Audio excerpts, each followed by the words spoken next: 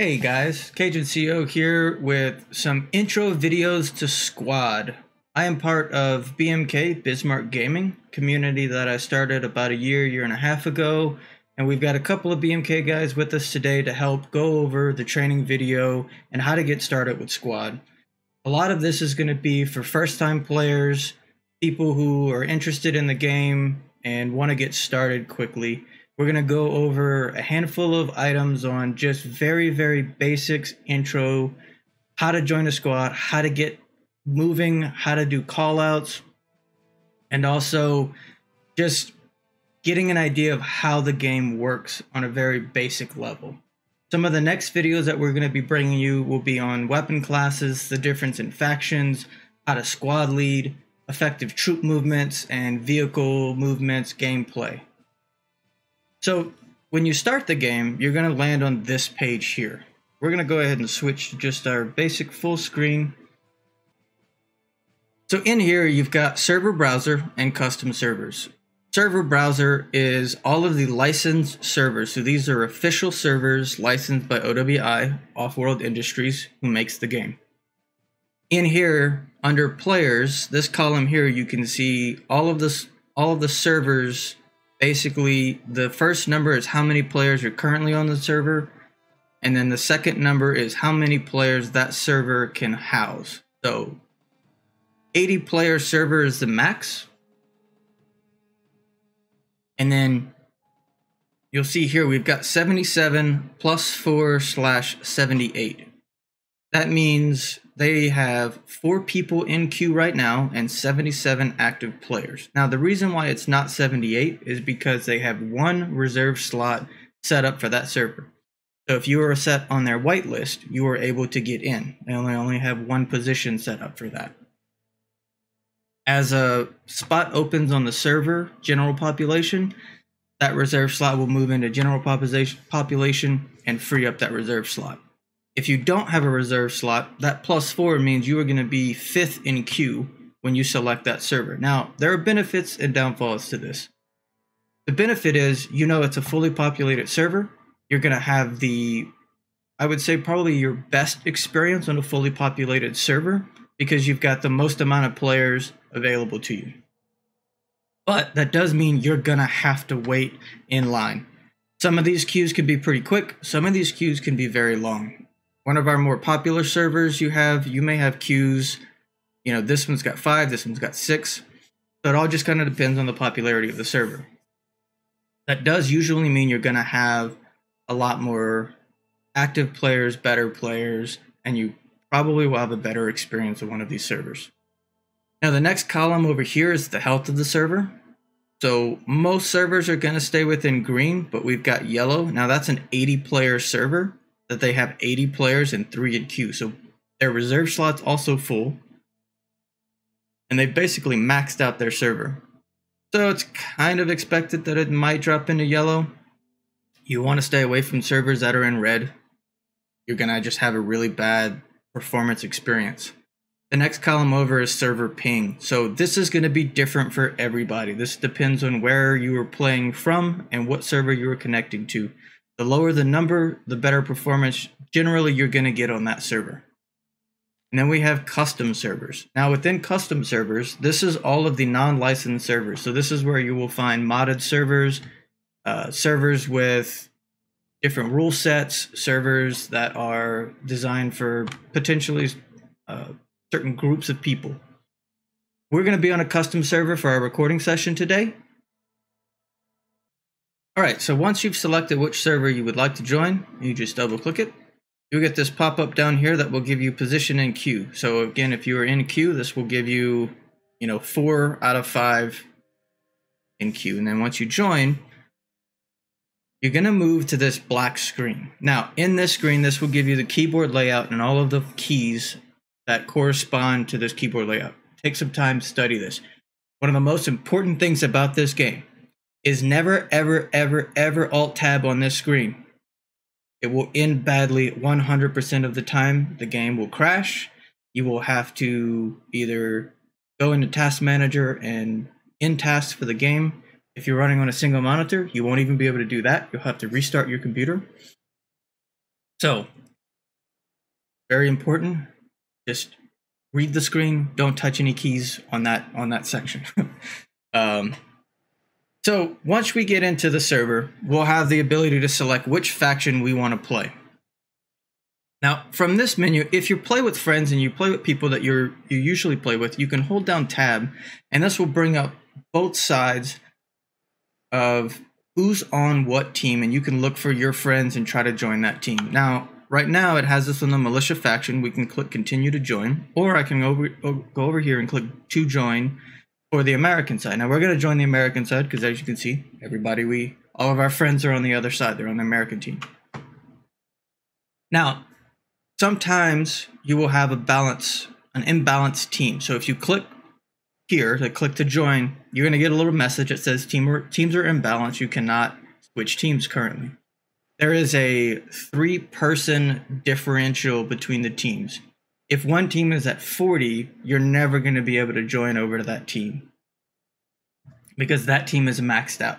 Again, this is an 80 player server max, so you won't you won't be able to switch over.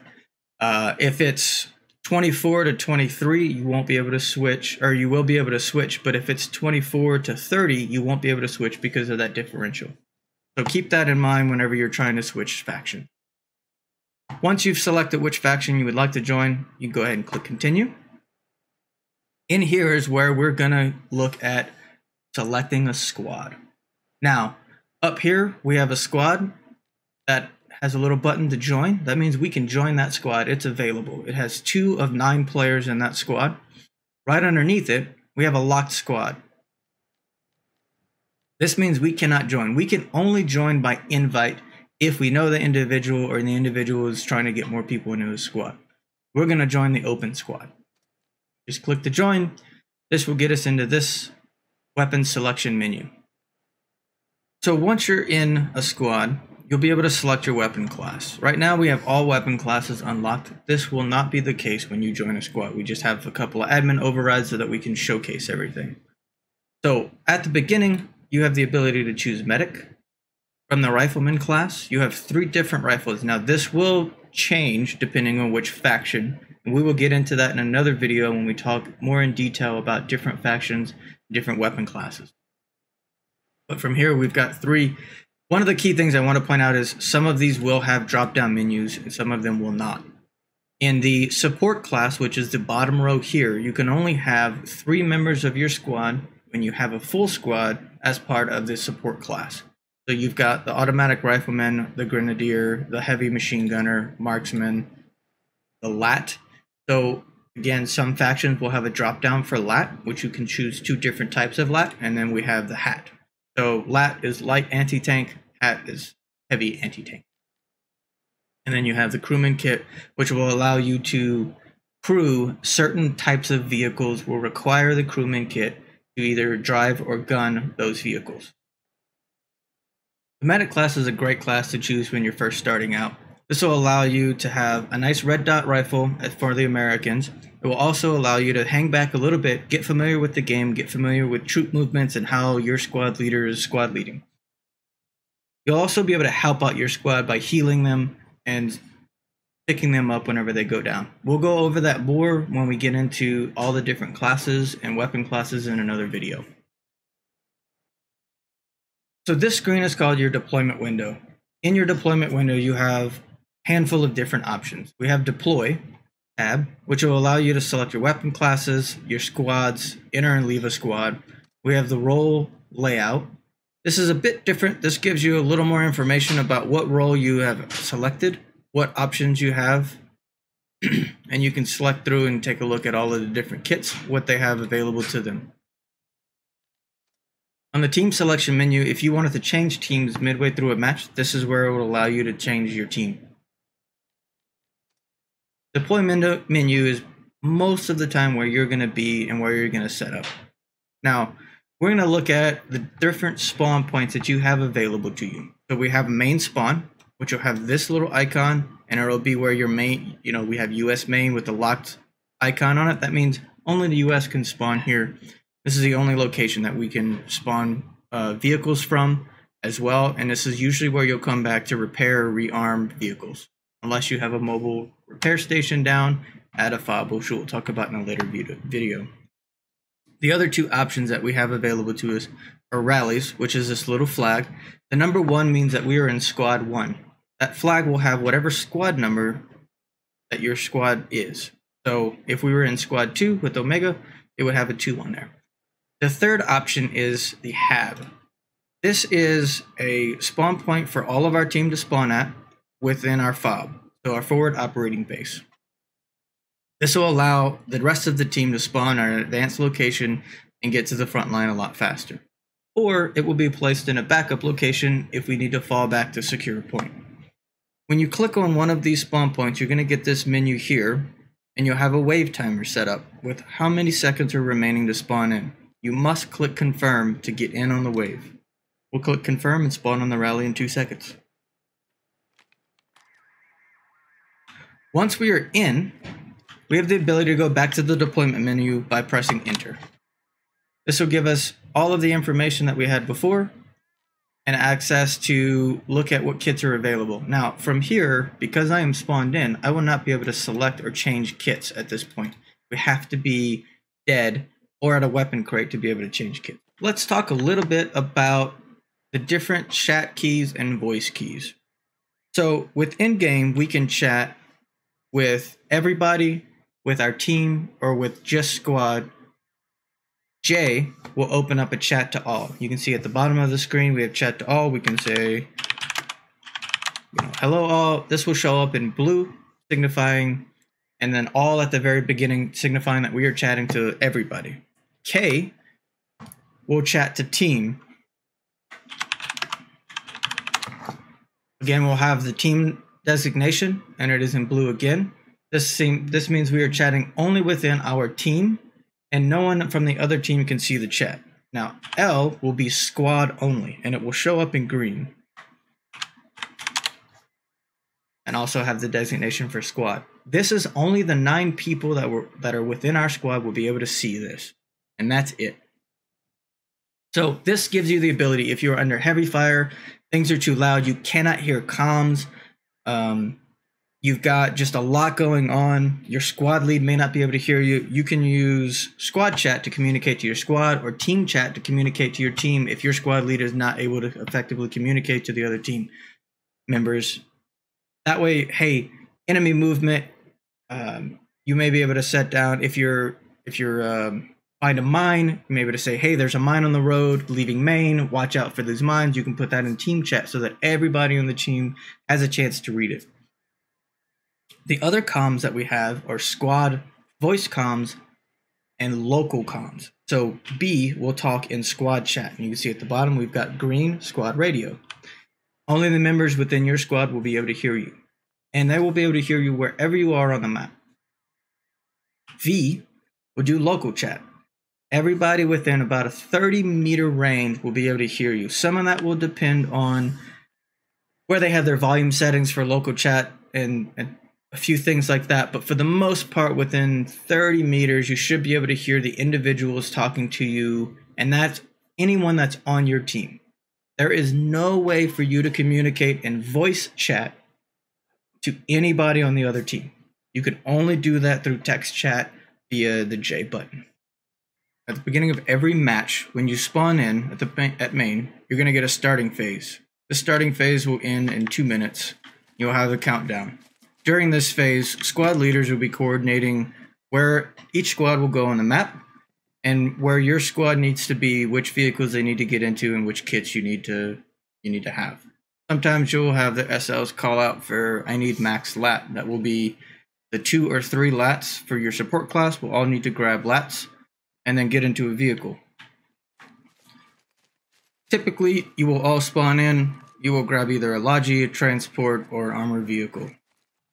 So, when you join into a squad, your squad lead is most likely going to ask you to hop into a truck. Now, the difference between the different trucks are pretty easy to tell on the map. The Logi truck, the logistics truck, has got the icons, the little ammo icons, the three slashes on the back of the truck versus the transport truck has none. You can see a couple of other different technicals here. They have different icons on them as well. And then your squad will always be green. So if my squad, a member or squad leader is in a truck, that truck will turn green. If another squad is in a different vehicle, that vehicle will turn blue, signifying that the blue berry is what we normally refer to them, a blueberry, because it's a little blue dot on the screen, is in a different vehicle. Easiest way to identify which vehicle you need to get into is by hitting M. That will bring you into your map and allow you to see this truck is my green truck. Now, the other way to tell your logistics truck from your transport truck, logistics truck will have supplies in the back. So you'll have all these crates and whatnot in the back versus your transport truck will not have any crates in the back. Same thing when you go to different factions. A little technical, it will be piled to the brim with a whole bunch of barrels and supplies versus the transport truck has no supplies in it whatsoever. For this, we're going to grab this quick logi. To get into a vehicle, you're going to hold down F. We'll show you a little circle that will allow you to get into your vehicle. If you are driving, you'll have an engine icon on your screen. You can hold down E, We'll start the vehicle, and then hold down E again to turn off the vehicle, and similarly hold down F will remove you from the vehicle. If the vehicle has supplies on it, you can also reload using the F key. So you hold down F, move your mouse outside of the middle circle, and you can resupply off the vehicle. At the beginning of each match, because your squad leads are trying to communicate with other squad leads to coordinate where you're going and what you're doing on each map, it's important not to talk in squad comms or in local comms because the squad leads are going to have a ton of voices going on and trying to communicate with other squad leads over squad lead chat. So any extra comms will just cause more confusion and delay from getting the game started. So when in a Logi truck and going to an objective, we're going to be setting down a FOB, forward operating base, and then setting down a HAB for mobile spawn. When, need, when doing that, your squad lead is going to need at least two additional people with him to set down a radio, and then one person to stay in the truck and drop down supplies. We're going to simulate that now.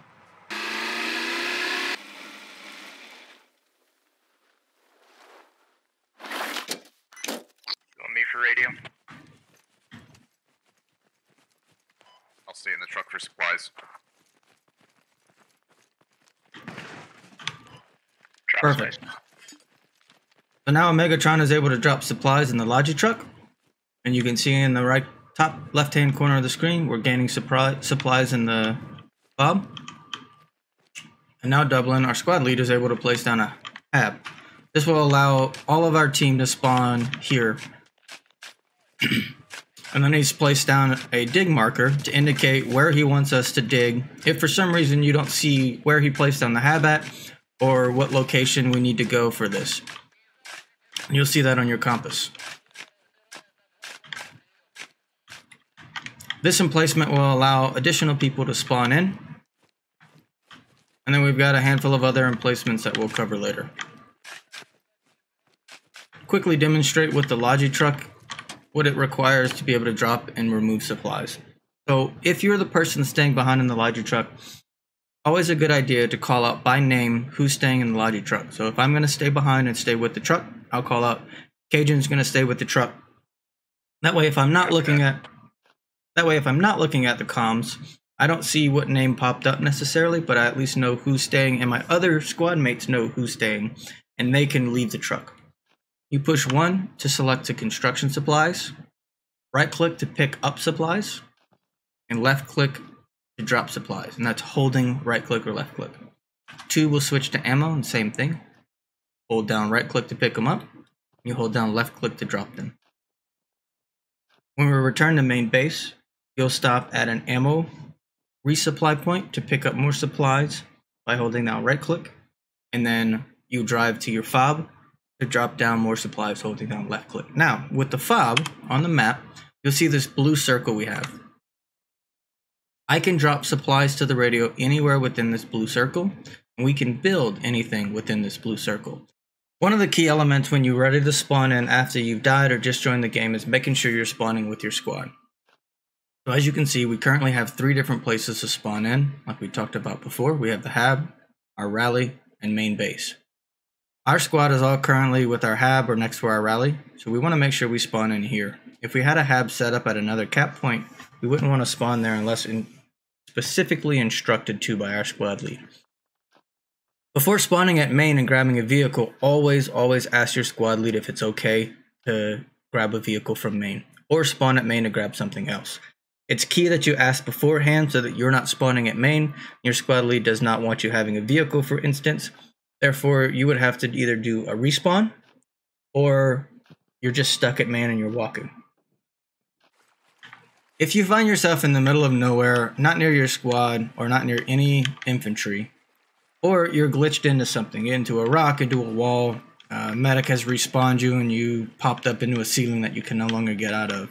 One way to respawn is pushing the tilde key. That key is the one that is left of the number one and above your tab key. It will open up the console. When you're in the console, you can type respawn, and that will instantly kill you and bring you back to your deployment menu. And there you can select where to spawn in. This will give you a higher respawn timer because you did a suicide. It will also give you a higher respawn timer if you team kill somebody. So you can see I have 90 seconds to respawn remaining on the fob now. Click to confirm. Well, now we just have to wait. Within your map, you're going to see different icons show up on the map. Your squad leader is able to place multiple icons for different uh, different movements. So here you'll see all of the different infantry movements. So we've got just basic infantry, machine gunner, a lat, sniper, and then we have heavy anti-tank. Let me delete these guys, sorry. And we've got heavy anti-tank, so it's a slightly different icon than the lat. Next, we'll show all of the different vehicle icons. So from here, we've got just basic vehicle, a light armored or light vehicle, so that may be an MRAP or a Discotheque. We have a lat vehicle, so that's a SPG techie. I also have transport vehicle, which will look a lot similar to if you just click on the vehicle icon. Full size transport truck, logistics truck. Again, the logistics truck has the ammo stripe on the back, or a motorbike.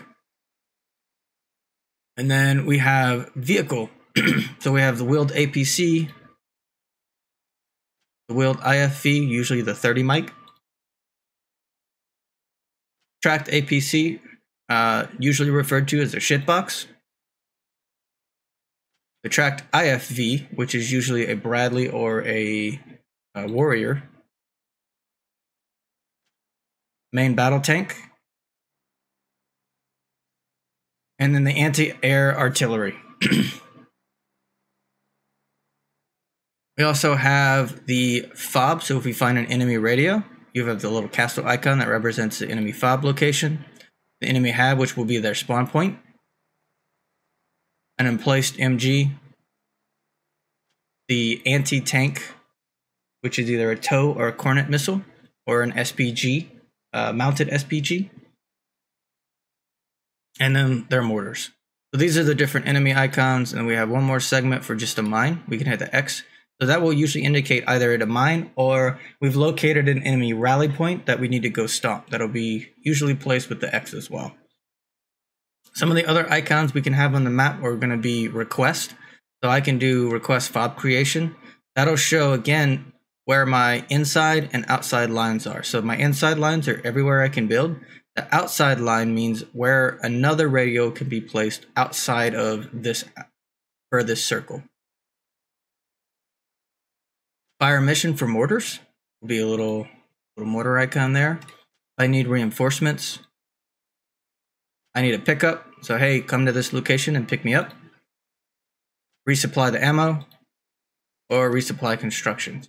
I will say in the 1500 hours I have in game, you will rarely see the last three.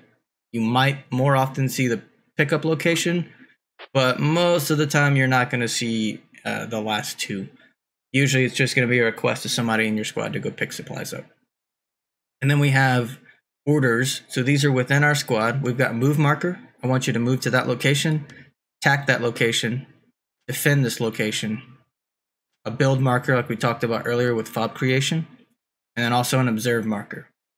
Observe markers are usually used, I've seen infantry movement this direction. We're not really sure exactly, so we're not going to place down a red marker, but we're going to place, hey, everybody in my squad needs to look this direction to find out infantry movement. As we can see with our stuff that we've built, we've got our Logi truck, our tank, we've got a build marker, our hab location, our fob radio, which is a little hard to see because there's a lot going on here. This little wrench and screwdriver is the ammo repair or armor repair station. So this is a rep station. And then we have mounted machine guns and then the mortars. We're talking about callouts. We want to be very clear about our audience. So as we have set up, we have a few people in a line spread out relatively far. And then we also have our main battle tank hanging out with us as well. So if we've got troop movements out this way, you can see my compass says 096097, somewhere around that direction. We want to be careful not to call out males in squad chat. So if I call out enemies 097, Sparks here, who is the one closest to me, will be able to probably tell exactly where I'm talking about. But as we get towards our main battle tank and then Omegatron down there, what they're looking at are two very different things. So they're going to be looking in skewed locations. One of the other things is we'll spread out around a point. You're going to have people in various locations. So your compass mils are not going to be very accurate. When we're doing major callouts, so within our squad, we want to call out via cardinal direction. So I'm going to say we're at Akeem Lower. Enemies east Akeem Lower across the street. So pretty good indication that these enemies are over here. It's across this major street that's on our east. And so everybody has an idea that we need to look in the east direction. Very similarly, if we've got contacts in the river, we can say contacts that came Lower north across the river. We know that they're going to be over here across this river. Now, I can use local chat because, again, Omegatron probably can't hear me way out over there, but Sparks can. If I say, hey, enemies 099, the contacts that are in my local chat area will be able to see that 099 is roughly the same location we should all be looking at, and that reference point should be pretty close to accurate. Your best callouts will always be a POI. So you find a major POI that you want to call out. Cap points are a big one, roads are a big one, and rivers are a big one. This way, everybody on your team knows exactly what you're looking at and where you're looking for callouts and what they are. So, the other important thing will be infantry, east, main battle tank, east or tank east, um, armor east is fine as well. Or, hey, Logi spotted southeast of Akeem, headed east to west. Another really good call out. One of the last things we want to go over is listening to your squad leader. You've chosen to be part of this squad. You've chosen to follow this squad leader. So go ahead and follow that squad leader. Normally they have a plan, not always, but they normally have a plan and will ask you to do one or two things. It may sound ridiculous, may sound stupid, but usually they're communicating with other squad leads and they may not have time to fully explain why they want you to take a Logi to three cap points ahead. But there's generally a plan. So, one of the big things is just grab that Logi, go make that run, go supply, you know, the next squad or, or whatever it is that they're asking you to do. They may get you killed. You may die a few times. Also, some squad leads are just going to be really bad at this and are going to kind of be jerks you will eventually start to learn which squad leads you want to be part of the squad and which squad leads you just want to avoid. But if the squad leads being a jerk, you can simply leave the squad. But again, remember you've chosen to be part of that squad, so it's it's the right thing to do to just listen to what they've got to say. We've covered a lot today. I hope you found this video informative and useful. Please keep an eye out for more videos to come and if you'd like to join us and play some squad, see the link in the description for our Discord. This has been Cajun CO from Bismarck Gaming, along with a few others. Thank you for watching. Have a great evening.